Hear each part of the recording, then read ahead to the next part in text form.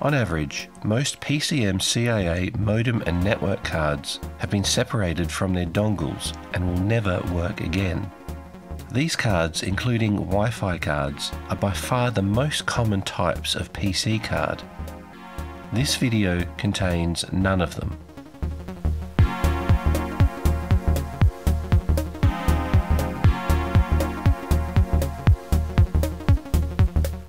This Toshiba Libretto 100 CT has been sent to me by a viewer.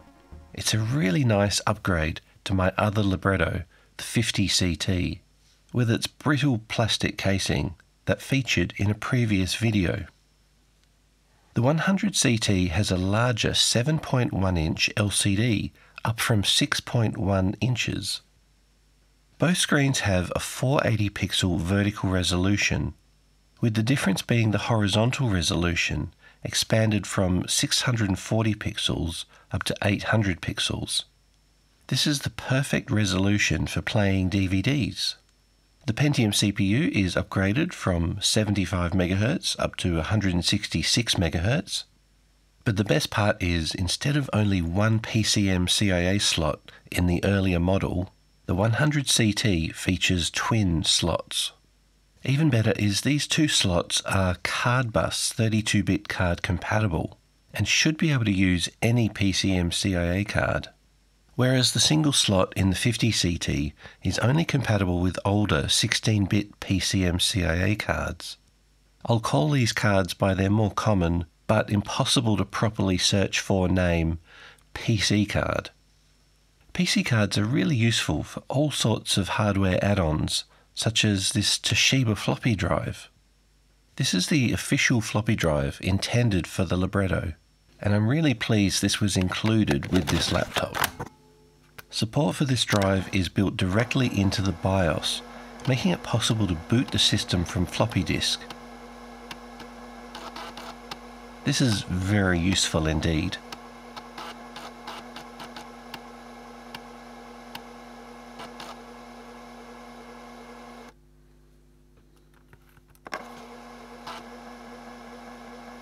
But probably the most useful PC card I have is this USB card with two USB 2.0 ports.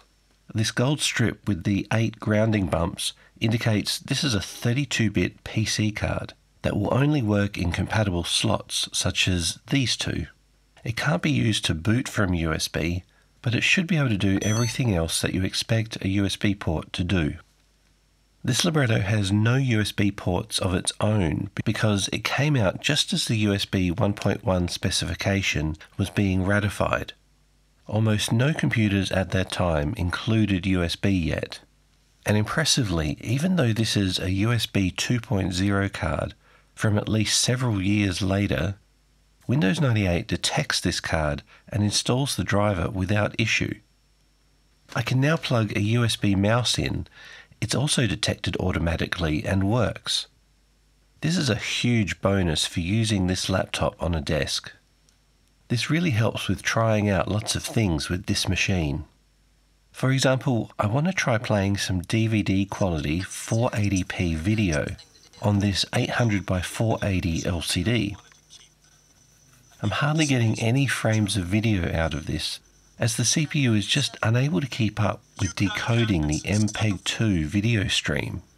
I also tried playing some AVI encoded files using the XVID codec, but this requires even more CPU power, and at 480p resolution, the player just seems to freeze up.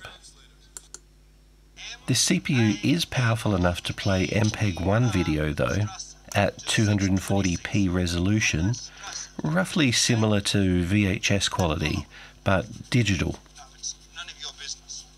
This encoding was used for VCD format movies, that weird video disc format from before DVDs. Playback is fairly smooth and really quite good most of the time. I'm perhaps seeing occasional frame skips. Before the Pentium 2 CPU, if you wanted to play back DVDs on your computer, you needed an MPEG decoder card. These had dedicated chips that could do hardware decoding of MPEG 2 format video. but they were fairly rare on desktops at the time, and most people were unable to watch DVDs on their computer. These sorts of cards were even rarer in the PC card format for laptops. But I have one of these here. This is a Dell branded DVD MPEG 2 playback card. To use this, you needed a special zoomed video port PC card slot. What is it with these cards and their naming? First PCMCIA, then the terribly generic PC card, and now zoomed video port. Installing the drivers was really difficult. First, I tried the VXD drivers for Windows 95 and Windows 98, and most of the time the software was unable to detect the card. I kept trying, but at most all I got was a black screen during playback. Eventually, I found some WDM style drivers, and things finally started to work. I'm still getting some weird glitches. When I first start playing, the image looks quite distorted, but changing the window size does seem to get it working.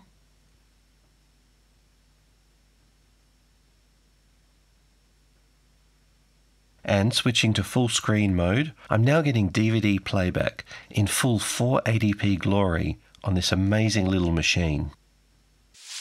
Well, what do you think about when you're alone? I think I want to get out of this rat hole.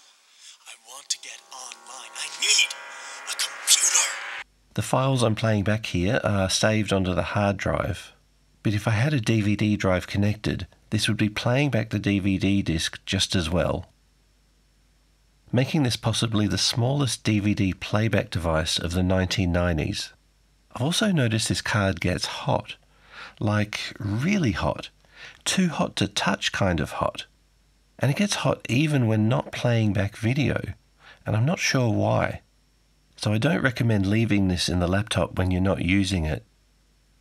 That could also be why the dongle that comes with it hasn't been lost. The dongle has composite video and S-video output. It includes stereo and digital 5.1 audio output. This is the perfect excuse to get my Sony Trinitron out to test this. Playback looks really good, and it can play the film on both the laptop and the video out at the same time. With this card, you had not only portable DVD playback, but you could use it to play back DVDs on any size TV.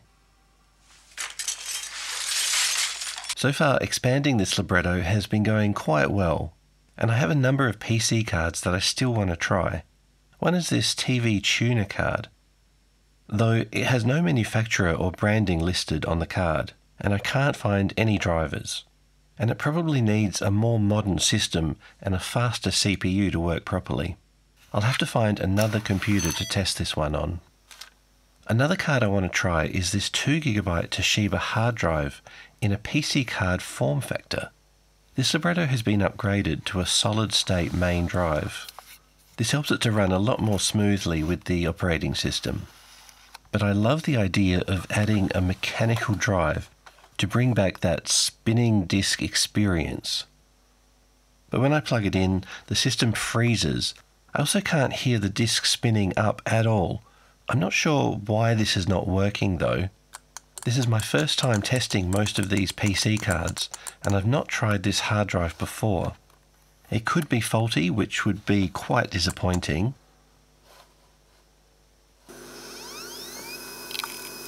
I eventually worked out that if I start the computer with the card already installed, the drive spins up and works fine. Awesome, a spinning drive in my modded solid state libretto.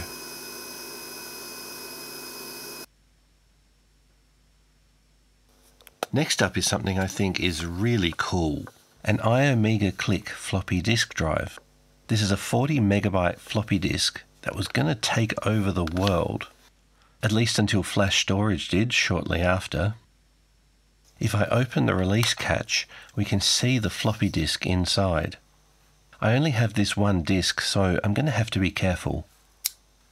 This has been shown in an old video, but it's great to be able to revisit it with this laptop. Its small size really seems to fit with the libretto. Putting the disc into the drive and we can hear it spinning. I don't know if it's meant to sound quite like that, but it does work.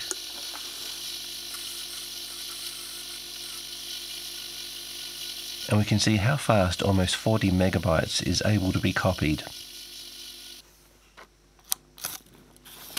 There's one more card I'm keen to test, and that's this amazing Sound Blaster Audigy 2 ZS. This would be really interesting to test if I could get it working, but this card is from 2004 and requires Windows XP. There are no Windows 98 or DOS drivers for this card. Yeah, even if I could get this working, it would be quite a challenge, and that would be a whole video in itself. And sound is one thing that this libretto already has that's better than many other machines of the time. This has a Yamaha OPL3 sound chip inside, which is compatible with Sound Blaster Pro. This chip includes a synthesizer capable of playing synth music from the 1990s. This sort of music was often included with a lot of games, and it made getting a Sound Blaster a really important add-on for most gamers at the time. There were also a lot of scene demos that would use these sorts of cards and often had really good music.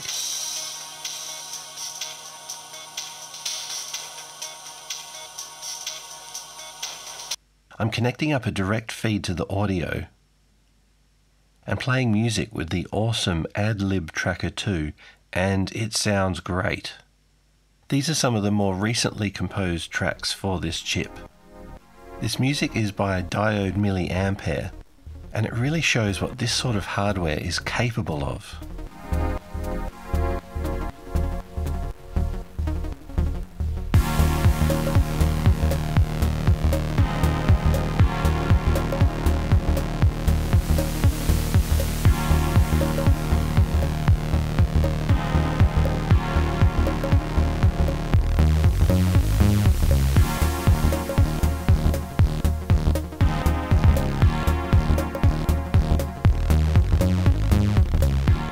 Play back all this music on modern hardware, and it sounds just as good, but it's great to hear the original hardware chip sound.